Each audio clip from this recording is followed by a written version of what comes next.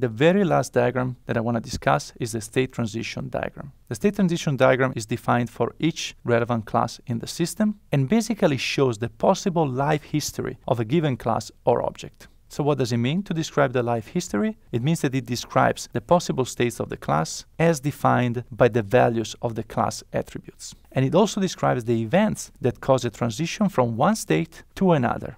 Finally, it describes the actions that result from a state change. So if you put all of this together, you can see how this can represent the whole history of a class, from its creation to its destruction. So let me discuss state transition diagram in more detail and also provide information about the notation used to represent them. We have states that are represented by ovals with a name, and we have transitions marked by the event that triggers the transition.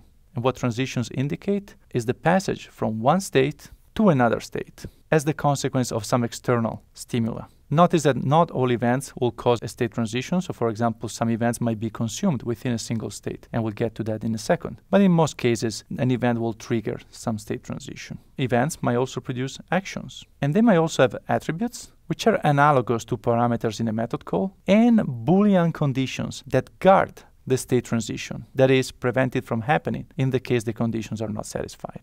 States may also be associated with activities and actions. Specifically, activities are operations performed by an object when it is in a given state and that take time to complete. Action, conversely, just like the actions corresponding to an event, are instantaneous operations that are performed by an object and can be triggered on entry, so when the object reaches a given state, when the object exits that state, and also when a specific event occurs. And in this case, uh, this notation is basically a shortcut for an event that will cause a state transition that will bring the object back into the same state. Since we have several actions and activities, it is probably worth uh, clarifying the ordering of such actions and activities. So the way in which these actions and activities occur is first of all, we have the actions on the incoming transition. So this is performed first. Then, if there is an entry action, that's the next action that will be performed. Then we have activity and event actions as appropriate. And finally, exit actions.